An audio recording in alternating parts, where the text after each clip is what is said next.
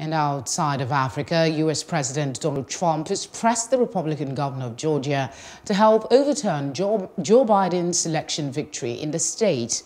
In a series of tweets just before attending a campaign rally in Georgia for upcoming Senate runoff elections, he urged Governor Brian Kemp to help call a special session of the state legislature the president is still refusing to concede and alleges without evidence that Biden's win was due to fraud.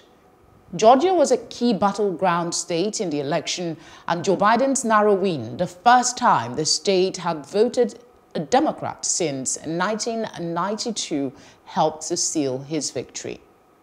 Hello, hope you enjoyed the news. Please do subscribe to our YouTube channel and don't forget to hit the notification button so you get notified about fresh news updates.